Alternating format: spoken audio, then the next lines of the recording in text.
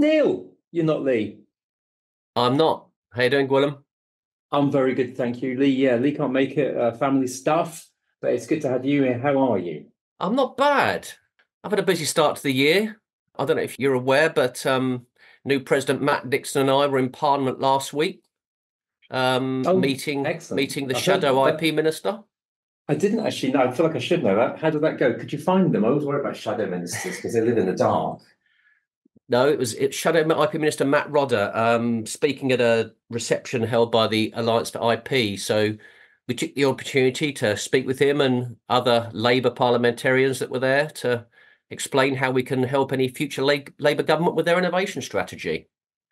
How far up their agenda is IP? Is this one of these people with 27 things on their roster, or is it just IP? Where are we? Well, he is the Shadow IP Minister, so we hope that they will have a focus on IP.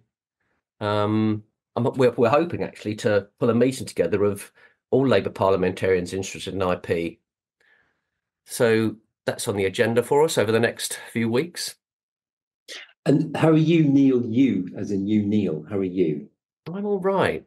I'm okay. I mean, I need to get fitter, but um, Is your knee still playing up? it is a little bit. It is a bit. But how about you? Have you kept or broken any New Year's resolutions? You a New Year's resolutions kind of guy? My New Year's resolution to calm down a bit hasn't gone very well. So it's a bit it? wild at the moment. Yeah, as we were just discussing, trying to get in during a rail strike.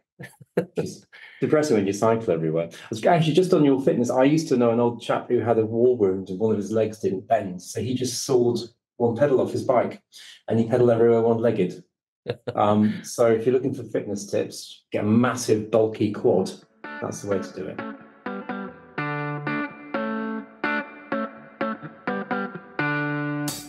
Lee Davis and Gwilym Roberts are the two IPs in a pod, and you are listening to a podcast on intellectual property brought to you by the Chartered Institute of Patent Attorneys. Shall we start the actual podcast? We should, shouldn't we? We should, shouldn't we? So we're doing MIP, Managing Intellectual Property today, and uh, it's great to see my old friend, Max Walters. Max, how are you doing? Hi, Gwilym. Fine, good to be here. Thanks for getting the um, thanks for getting the name right. I got an email just before I came on this podcast um, asking someone to provide a comment to Max Walters at IAM. So um, I'm glad you got the, my managing IP right. Anyway, oh, well, don't forget the competition in so early as well. But MIP, we're here to chat about. Um, publication's been going for quite a long time now. yeah, I think I think we're right. I'm right in saying we're the oldest uh, IP publication. I think sort of 1980s. It was um it was set up by um as you probably know Jeremy um Jeremy Phillips who went on to do a number of things including IPKat or IPKat. What do we call it for a number of years? Still don't And, uh, know, but yes, yeah, yeah. yeah. That was remarkable. I think it's it obviously kicked off in the UK, um, but it's pretty pretty international now. Yeah, so we've got um, reporters based in America, or one reporter based in America, um, a girl in India, and um, we have an office in Hong Kong. We don't currently have a reporter based out there, but we do cover. We cover. We've got the whole globe covered on on our um on our reporting team, which is uh, yeah, we try to anyway. and a fantastic awards events as well. I've, I've been to a few. Yeah, that's coming up in in April. I'm sure you'll get the uh, get the memo about that soon enough. But that's uh, that's a big a big deal for us, and I'll be um well, I've got the I would say the pleasure, but it's a little little bit nervous, but I'll be hosting this year alongside hopefully a a guest. So um yeah, that'll be uh, that'll be a big one for us. Does that mean that you have to do that bit where you do the best non-contentious trademark practice from Azerbaijan? Is that is that part of your exactly about about 450 awards to uh, to run through and to yeah um but it'll be um it's a good it's a good thing for us everyone has a good time and uh yeah i'll uh, i'm sure i'll get some stick from the uh from this from the guest host as well which will be fun No clues about who the guest host is then? i don't know how much i can say to be honest but it, it's possible that it might be the same person who did it last year which i'm sure will be easily easily findable online uh or Okay. or somebody else potentially but um Very if I'm not allowed to say this, I'll have to ask you to cut this bit out of the podcast. But um, yeah, we are we are trying to get a uh, we're trying to get a good um celebrity host to uh, to help us out with it this year, which would be nice. I haven't been to those awards for I don't know six or seven years. Be good to go again. Yeah, no, it's uh, it's a good it's a good event, good food, everyone's in a good mood, so it's uh yeah, It's a good Right. good evening. Sounds like Neil's free if you need an IP celebrity. I'm up for it. Yeah, there you go. Co-host sorted. Got to bring your jokes with you, and uh, yeah, you. So, do you want to give us a little bit of background about how you got into MIP, into journalism generally? Always interesting to hear about different of tracks Yes. of life. Yeah, so after university, I did what's called the uh, NCTJ, which is a kind of postgrad qualification in journalism where they teach you how sort of not to be in contempt of court and that sort of stuff, and shorthand, a few other sort of um, skills. Um, and then after that, I joined a local paper immediately, um, which was you know great fun, but um, it got to the point where the resources were kind of being stripped to the bone. So I I made the jump into into B two B journalism had a had a couple of jobs, including on another unnamed IP publication for a while, uh, and then went to the uh, Law Society Gazette, which I was just talking about with Neil before we started, and now uh, I find myself at managing IP. So uh, Well, we had a similar a career trajectory at the start. I, I also did an NCTJ course, oh, did you? Okay, where did you do yours? Sheffield. Sheffield. Oh, lovely. Oh, Yeah. good. I hope you went to lots of? Wednesday games. I Uh, didn't did. Harlow College. You did. Ah, didn't. okay. I did part mine at Harlow. Yeah, yeah, yeah. yeah.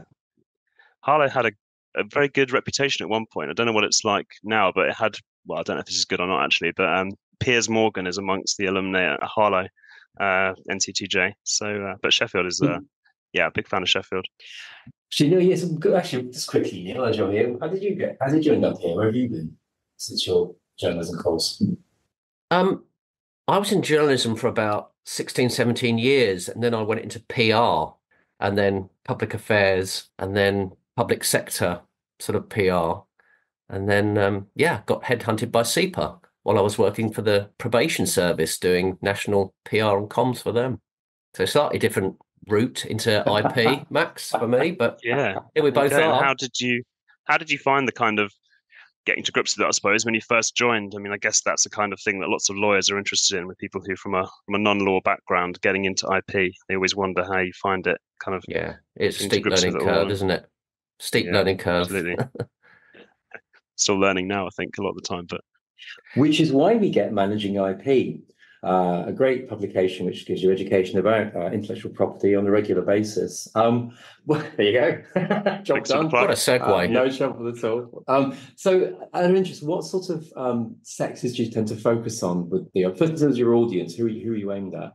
So I suppose like primarily would say law firms um, globally. Um, we're kind of actually going in a kind of slight change of direction in terms of our editorial focus recently. We're kind of pivoting more towards what we've well, what has been dubbed the uh, business of law, quote unquote.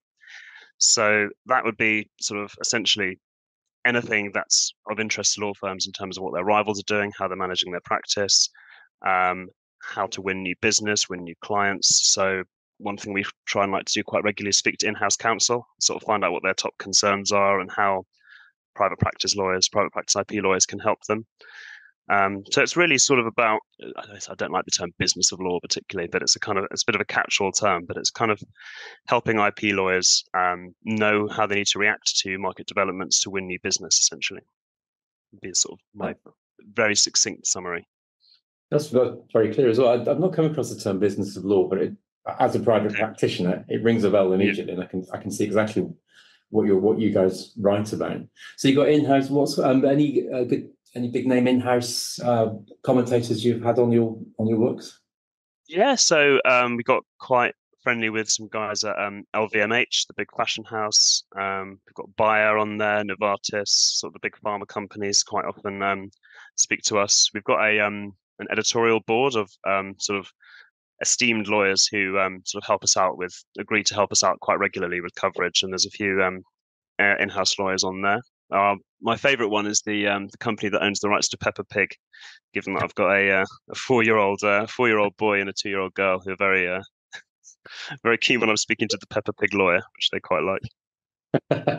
that is quite exciting, actually. Yeah. Yeah, there's something. Um, currently, my daughter. I think just we, I'd have to work for a zoo to impress her at the moment. That's my only my only hope. That would impress me, to be fair. Yeah. By the way, just might is be a completely irrelevant. zookeeper in another life. well, I went to London Zoo. This is completely off topic, but it amazed me. This you went to London Zoo the other day, and outside they've got the bizarrely the terms and conditions under their licensing from the government. And there's about I don't know if you've ever read it. It's a very strange question. I'm just, you probably haven't read it. But one of the clauses is their duties in case of an escaped animal, which that they have to report any animal escape within 24 hours. 24 hours. Wow. They've got lions there. Absolutely. Mm-hmm. It's really, and doesn't he say working days? I've no idea what, what happens if a lion escapes on Friday evening, but. I feel, I feel like someone would know within 24 hours if a lion or an elephant escaped London Zoo. I don't think it would take. Don't think it would take too long before people probably worked out what had happened.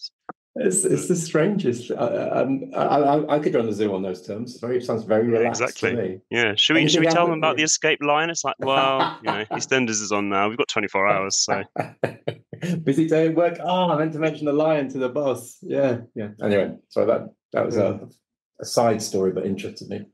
Um, yeah. So what's what's what's hot at the moment? What topics have you found yourself focusing on?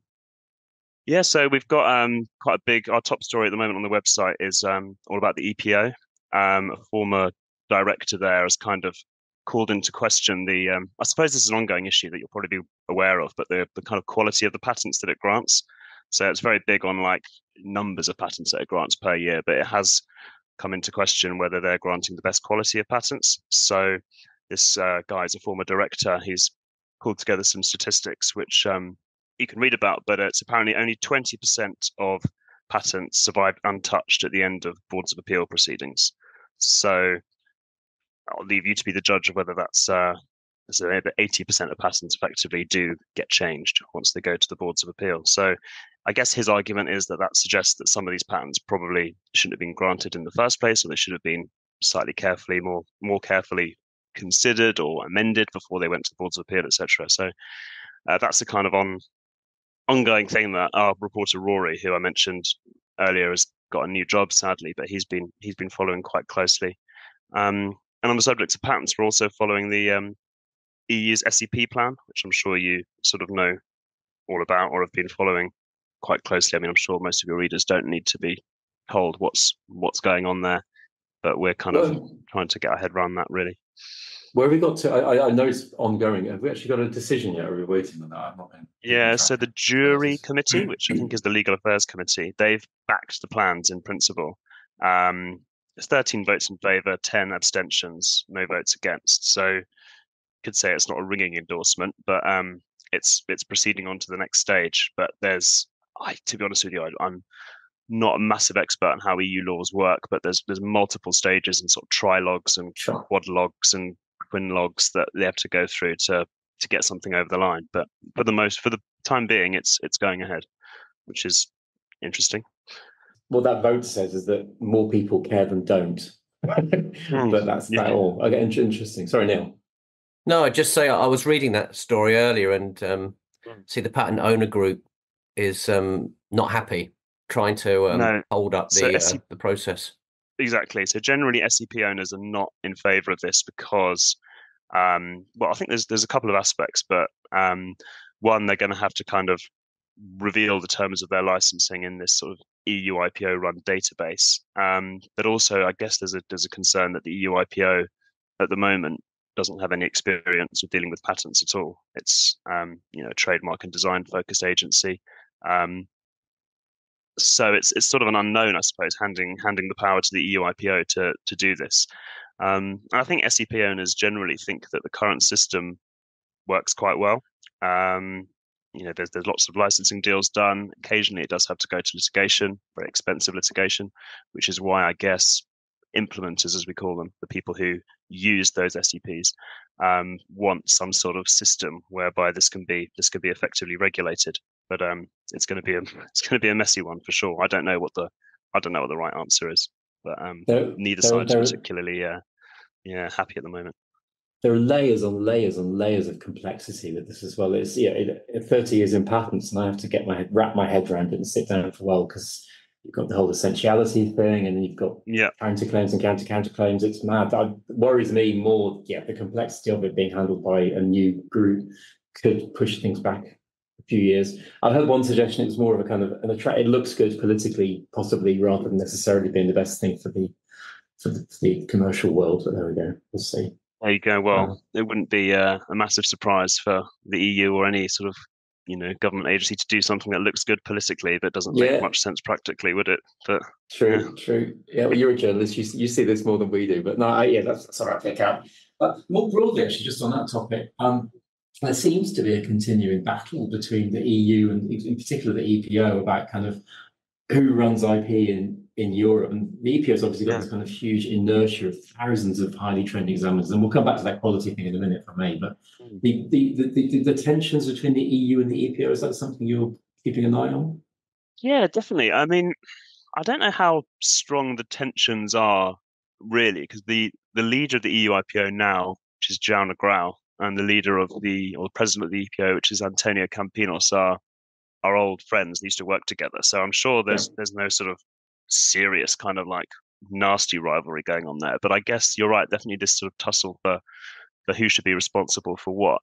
Um, my gut instinct when I heard that this EU was going to do this um, regulation or proposed regulation was that the EPO would be best placed to to do it because they they deal with patents. But as you said, they have this kind of weird status where they're not an EU body and they're not really a they're this sort of supranational agency. So they're not it's not you know they shouldn't be getting involved in things to do with the EU. So um, and they did obviously come out and say that they think they're better placed to to deal with this. So I guess it's just one to one to keep following. But in terms of their kind of their rivalry, yeah, I don't know. I don't know. I think it's uh, it's it's an interesting one, but definitely the the head honchos of both agencies are are fairly friendly with each other. I understand.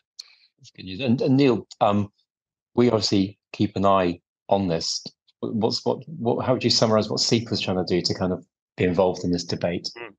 Well, it's our IP commer- commercialization committee that looks at standard essential patents. It hasn't been a subject that's had much discussion and debate recently, but I'm sure this EU IPO development will be discussed at the next committee meeting. But to be honest with you, I can't give you a, a, a- a clear, straight answer, I'm afraid.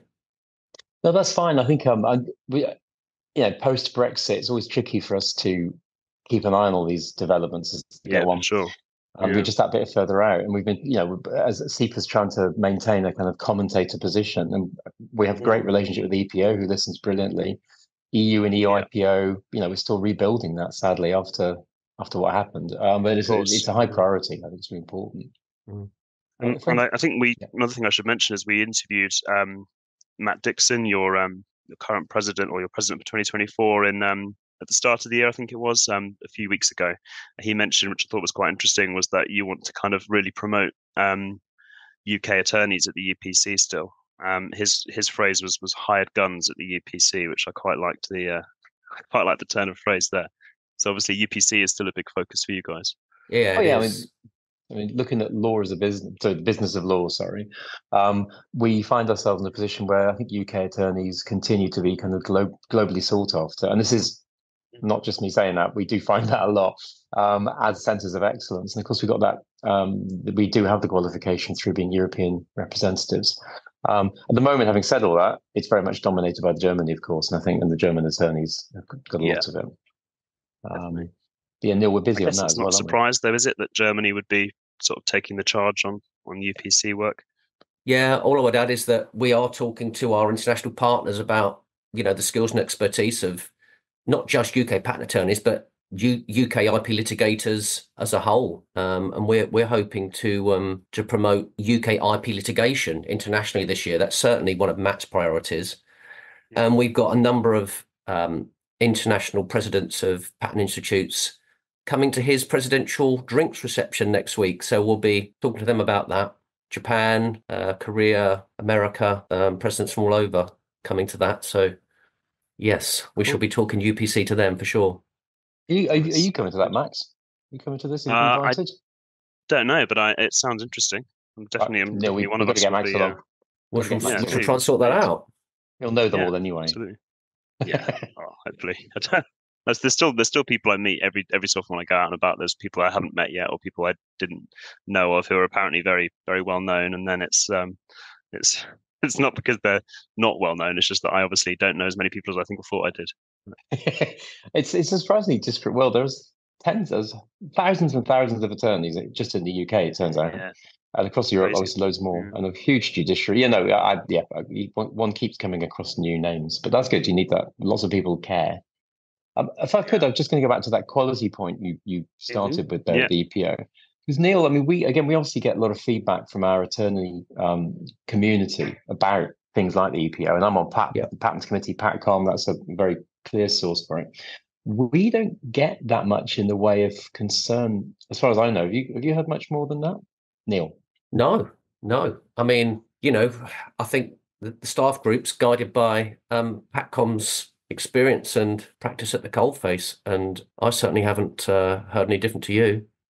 Interesting. yeah, the, the guys who are mainly behind this is a group called the uh, who we- we've we've you know quoted them before. and You may have heard them. They're called the Industry Patent Quality Charter. So it's a, basically a group of in-house counsel. I think there's a few private practice lawyers on there anyway, but they're sort of they just want to. I don't think it's anything like you know they're not like want to shut down the office or anything. It's just a sort of um, an ongoing thing where they sort of want to make sure that the quality of patents main, granted is always like very strong, so that you know you don't have to potentially um, get amended endlessly at appeals or get revoked after appeals, or so that everything that's been granted is essentially a focus on quality over quantity, basically, which Yeah, and is, I- I suppose is a fair enough concern to have.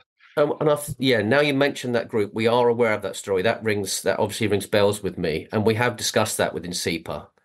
Gwilym, you, you might remember discussions about that, and I, I, think do, I do. I think the um the overall decision was that you know we felt that quality wasn't a significant issue, significant Mm. enough to, to raise. It's interesting. I'm sure lots of people have different different views on it. Um, I mean, the EPO they do a lot of very good stuff, and they're always very kind of um, strong in their in their response to um, in their response to um, to everything that we put to them. So um, They've got lots of they've got lots of committees and things looking at it. I mean, Yeah. the stats in the UK aren't much better. I don't think our courts are particularly. Um, you know, they they do tend to have a look at patents and rethink them.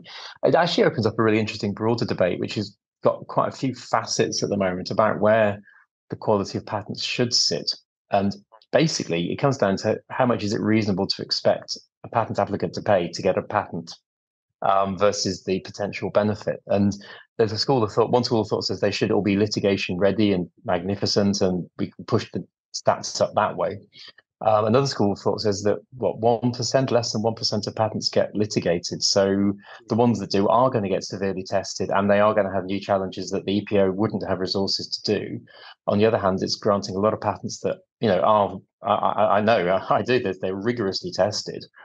I think there's a co- there's a kind of a price point sitting behind that discussion uh, about you know how much do you expect the EPO to charge, for example, um, and it's either through pre-grant fees or through you know it kind of hits you through renewal fees, and one way or another you've got to pay for the system. Um, and also attorney time. Um, you want the difficult cases, you have to fight harder for them. It's always going to push the costs up. So I think there's a broader debate still not quite being had there about where the actual point should sit. Um, a definition of quality I heard, yeah, well, I, I heard a really good definition of quality once, is it's what the client wants. well, there you go. Yeah, I mean, you can only do what you're asked to. You can only do what you're asked to do, can't you? So And so on the um on the legal front, so that's some sort of kind of interesting kind of gross things. Do you tend to be keeping a track of you know enlarged board of appeal decisions and UK case law? Is that a Uh, a little bit, yeah. Definitely the major enlarged boards of appeal decisions we would we would do. Um, I'm trying to think of some of the major ones we've done in the last sort of couple of years, whatever. It was a G G119 was um, one of the sort of big ones we did. I think um, there's been a couple on when immediately post COVID we did a couple of those ones that centered on VICO hearings and the legality of yeah enforced um, video conference. I should say so. Um, yeah, it's definitely something we keep an eye on. I think the issue we have at the moment is those kind of things are quite heavily sort of practice of law focused, as I would say. So they're kind of about case law, etc., which we're sort of gradually moving away from. So it may be the sort of thing that we would get sort of externally external contributors to write about. You know, we get a lot of submissions from law firms saying, "Can I write about this um, this article, this interesting this interesting judgment, or this interesting decision?" Um, but yeah, no, it's definitely something we uh, we keep an eye on. Yeah, and the Vico one was very much at the Yeah. crossover as well because it had a lot to do no, with absolutely. yeah, yeah, I can- I can see that. So yeah, it's interesting. Actually, I think because there are many other channels for the legal analysis angle. Not not least, of course, our love, beloved CIPA Journal, Neil. Absolutely. Pick up the Is it CIPA Journal. Journal you've got behind you. Me, no, hmm. No, no, uh, Neil. No, no, no, no, that's not No, Super. Journal. That I'm, looks I'm working from home today, so Oh, okay. I don't know what my partner would say if I started framing CIPA journals and putting them on on the wall in my lounge. she might have something to say about that, Max. I And- thought I didn't. I couldn't see the what it was. No, I I could just see lots of what looked like magazine covers. You've got. I'm guessing you've got your family behind you, Max. By the look of it. Uh, I do. Yeah, they're quite old, quite old photos now. Some of them, but um, yeah, I don't know how much you can. Don't know how much you can see. Yeah, we get given photos every so often from the nursery, and they uh, Yeah. These are actually my favourite films. put them off a little bit. Are they okay? Yeah. What have you got there? Can I can I recognise any of them? I can't. Um, Oh, top left. That's is that the usual suspects? The usual Oh, yeah. suspects, yeah, The Shining, That's right. a few That's others. interesting. Oh, Good conversation Shining. piece Where's the Shining? Oh, the What's it- typewriter. Shining on the. Oh yeah. Good. This is quite visual for a podcast. It is really not great for a podcast, is it? Trust us, listeners. Great pictures behind Neil. Um, um, just in terms of kind of where you're going in terms of your um your channels, as it were, Max. Um, obviously got the, the print copy, but these days I guess there's a whole Yeah. bunch of different angles that you go through. Yeah, so we don't do print anymore. We did do a PDF for a while that was sent out quarterly to people, and we stopped doing that towards the end of last year. Um, So now we're very, very much just basically digital focused. Um, we do have a, a newsletter, which I don't know if you guys uh, get. If you don't, then you probably should be. But um, that's uh, especially the Thursdays one, which are, is our patent strategy newsletter. Um, so we have four newsletters per week that get mailed out to our clients, and that's just a mix of news and analysis from from the past few days, essentially. Um, but the website is our our main kind of channel now. And the other thing we're doing recently is we're linking up our, sort of drawing together, I suppose, our news website, managing IP, with um, IP Stars, which is our sort of database of, of firms and practitioners, and we're kind of bringing them together to offer a sort of more of a one-stop shop for everything. Because I think previously they'd been a bit, they're on different websites, and people didn't quite know whether they were connected. Um, so we're trying to sort of draw those two together as well. I- I'm just interested to know whether Max was looking to cover the the big IP finance story that came out a couple of weeks ago. The IP backed loans just launched by NatWest. I don't know if you saw Oh, that. yeah. Yes, we did. We did do that. We did do something on that. We included a kind of um, summary of that in our. Um, we do a sort of weekly roundup of IP news that you Uh-huh. that you might have missed. But we do have that down as something to something to look at because again, going back to this business of law uh, phrase, it's, that's quite a sort of business of law type story. Yeah.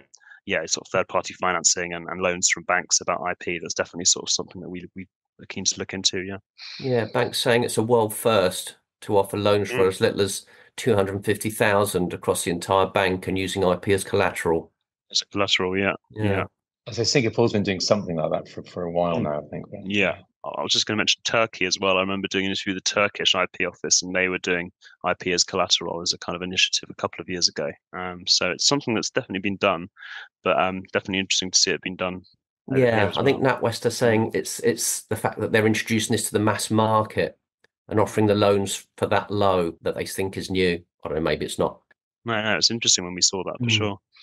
So, as a private practitioner, talking to someone who's keeping an eye on what you should worry about for the business of law, what should I be worrying about? Where, where, are the, where are the changes coming to the profession that we need to keep an eye out on? I suppose it's it's it's anything to do with like if firms are kind of creating new practice areas to sort of deal with new new emerging areas of IP. Like we hear a lot about AI, you know, whether we're going to get sort of specialized AI departments that are going to kind of draw on IP, but other aspects of um of the law, sort of you know, data protection lawyers and this, that, and the other, and, and the the potential impact that could have on IP practices as a whole. Obviously, more widely, AI. You quite often look at how AI is going to affect jobs, legal jobs, particularly sort of the uh, searching kind of jobs, kind of work that you would normally sort of perhaps outsource or would have taken like quite Mhm. a lot of time for you to do, whether that could be done by AI and the impact on on firm resources as a result of that. Yeah, so I suppose there's sort of two major things. Um, how firms are reacting to the UPC as well, whether they're kind of pooling resources together, if they're pursuing mergers or kind of tie up agree- agreements. And we see some firms over in Europe kind of not a formal merger, but they've kind of got best friend arrangements, whatever you want to call it, with um with other uh, European firms sort of tackle UPC work and whether there's any sort of competition concerns arising from that. Um, so these are the kind of interesting things to look at, I suppose, at the moment. That's interesting. Yeah, we, I mean, my firm, we've been looking a little bit, a bit of future gazing Yeah. and strategy, and we had the good think about AI, and we decided we'd take it very seriously. Clients not that keen on using it. A lot of them it was 50-50. But yeah, uh, it's uh, it's something that we I think we have to take really seriously. And you know, as a, as an old bloke, I don't always do that. So I'm forcing myself to realize. I just watch my kids. Um, Yeah. I won't say I wouldn't. Um, they wouldn't dream of writing job applications using AI, just in case their potential employees are listening. But you know, that kind of thing, and it's uh, it's eye opening what's going on. And so, even if my generation doesn't like the sound of it, that doesn't really count. What's your sort of very early thoughts as a firm about how you're going to respond to it? What's your kind of sort of short term strategy, I suppose? Sure. So I think um, in terms of responding, uh, yeah, take it seriously. It's not Mm. Fit for purpose yet, but it's evolving so rapidly that that is not an Mm. argument. Um, I think in terms of what it can do, I think some of the kind of commoditizable aspects of the job will be done. Uh, I think everybody's worrying about what that means for training and how many trainees one has, but I don't think it's going to replace the trainee role at all. I think it's going to replace just roles that nobody wants to do that and also that clients aren't going to pay for for a while yet so i think what's going to happen is that the human quality amongst the patent attorney and amongst the support function will continue uh, and we'll just start you know streamlining where bits nobody wants to do is, is the short term longer term don't see them doing diff- the ai doing anything kind of really complex or being trust, trusted to for quite a while yet uh, and then in 10 years, I find it difficult to think that far ahead at the moment because things change so rapidly right now. But we're comfortable for five years of things staying, you know, comfortable but evolving, and we're going to have to keep an eye on that. And some clients are Five asking years. Yeah. Five years in a job is is good enough for me. I'll take that. So we'll see what happens. We'll see what happens in five happens. years when you can just get AI to write an article I mean, about IP law. All my predictions so far have been brilliant. I remember saying Google Maps would never take off, so that was a good one. So yeah, that's that's gone well. Um, we're, we're rolling um, towards the the end. Um, Mm. Lee would always ask this. Lee, all our thoughts with you and your lot, by the way. Um, but um, Lee would always ask at this stage anything that we should have asked you that we should have let you comment on. Did we missed anything? No, not that I can think of. Um, there's lots of things that I can talk about that aren't IP related, but I'm guessing that's not massively of interest to you on this podcast. Well, it does bring me to, to Lee's dirty trick, which I'm going to repeat today, which is something Okay. you've listened to all. We, we normally have a question for each of us um, at the end. And it goes like this I come up with a question that I know I've already got an answer to because I know Lee's trick. Then I bounce it onto Neil with absolutely no notice, and he panics and comes up with something that gives you time to think, Max, and then I can just sit there and say what I was going to say anyway. So, Lee, we know what you do. I'm just repeating it. Thank you for. I'm learning from the master. Uh, and Max, you mentioned um, at the beginning that you know in your in your history you had a, a time at a local newspaper. I can imagine that that was a there were some interesting things happened there. But I, I, as I've never worked in a local newspaper, the question is: so you've had some earlier jobs. Any any good stories? Any good story from earlier jobs that you had that you want to share? Neil, you're up. Um, I always found it quite funny to just consider the sheer mundanity of some of the stories that are covered by local newspapers, such as those that me and Max used to work at. And I once did a story about a pensioner that was left at a bus stop. So that was my most mundane Pensioner. story. As part, of someone a, found her. as part of a campaign to improve bus services, that was in Kent. What- What happened to the pensioner? Presumably she was she's not still there. It was, a, it was it was an old guy, and he was just left at the bus stop. The bus went Oh. past. That was it. Oh, End of story. Oh, we got the next bus. Yep, I think so. Yeah. wow, that's a big one. Okay, that is Yeah. that is quite. Pensioner I mean, left at bus stop yeah, headline. Scandalous. Max, what have you got? So I actually did one that was, I think, quite cool, but also quite sort of unbelievable that it hadn't actually been discovered before. So someone contacted me anonymously who worked for the NHS, one of the local hospitals, um, and she said that her boss or direct boss, the sort of borough, he was very senior actually. He was like a sort of managing director of like three different hospital trusts, um, and he was on one of these sort of temporary contracts, sort of that they renew per month. So he was being paid massively more than you would be if you were on a sort of annual salary. Um, I think we worked out that he was paid something about three hundred and fifty thousand pound a year or something, which is obviously you know, NHS, you know, a lot of money. People get sensitive about that sort of stuff. Anyway, and she just contacted me and said this guy's um, been convicted for armed robbery. And I was like, right, okay. So I did a quick Google search, and sure enough, you know, let out of prison four years ago for holding up a petrol station with a gun and armed robbery. Didn't, and then decided to get a very high paid job as an NHS director with seemingly no background checks done whatsoever. And um, yeah, so that was quite a uh, quite That's an interesting one, I thought. And then they put it to the hospital trust, and they had to quickly sort of shunt him off and admit that they used an agency, and obviously didn't do any background checks whatsoever. Um, is What which is quite interesting. Yeah, yeah, it was. It got picked up by a lot of the nationals, particularly Yeah. nationals with an axe to grind against the NHS. Yeah. Who, uh, Yeah, You know, yeah. which is uh, yeah, that was quite a good one, I thought. There you go. Yeah, yeah. An unusual skill set, I'd say. But Yeah. uh, yeah. yeah, So, so armed a- robbery and managing oh. hospital trusts. Yeah. Not more interesting than my story. No, they're both good. I'm sure you can bring them together. So I always try and bring them together. I'm not going to try today. Um, so mine, I haven't. Um, I'm, I'm a patent attorney, man and boy, so I haven't really had that many jobs. But I did have a summer job once where I worked in a stationery company, and one of my jobs was to help them computerize their inventory, and I had to invent, had to create a fake product uh, as an item on the on the inventory, and I came up with the idea of the knobbly leather groin grip. Because I was a student and I liked it, and so I had this. It was on the inventory. What I I was quite gullible as well, and they found it without telling me, and then got a client, a customer, to phone up and ask for a hundred, and I. I had to take the call. And because I was, I didn't realize it would wind up at any point, and they'd also, they'd also take me to the pub last day. You know, quite quite nervous, and desperately trying to explain that we'd run out. I think I can't remember how I handled it, but it was uh, it was a good You one. should take it to Dragon's Den. Yes, I don't quite know where that came from in my head. I promise. Hmm. Um, that's been really good, Max. Thanks, good, Yeah. great to see you. Neil, thank you so much for stepping in Thank and doing a brilliant job as Thanks, ever. Max. Lee, as I say, hope everything's all right. Um, uh, Max, I know you've got your own podcast. That's what we should finish on. Let's plug your podcast quickly. Yeah, so we we do the IP Lounge um, every month. We sort of just review what we've been writing about the previous month. So we're due to record our latest one in a couple of days, where we'll talk about everything that happened in January. Um, and occasionally we we open out and we have we have special guests on there before. So um, I'd like to you know return the favor at some point and have um you know have you guys on as well at some point, which would be great. Oh, I'd love that. Thank you very much. That was exactly what we were angling for. That went really well. Thank you. No, Yeah. it's great to see you. Um, Neil, see you soon. And you, thanks for having Will me. do. Thanks, guys. Cheers. Bye.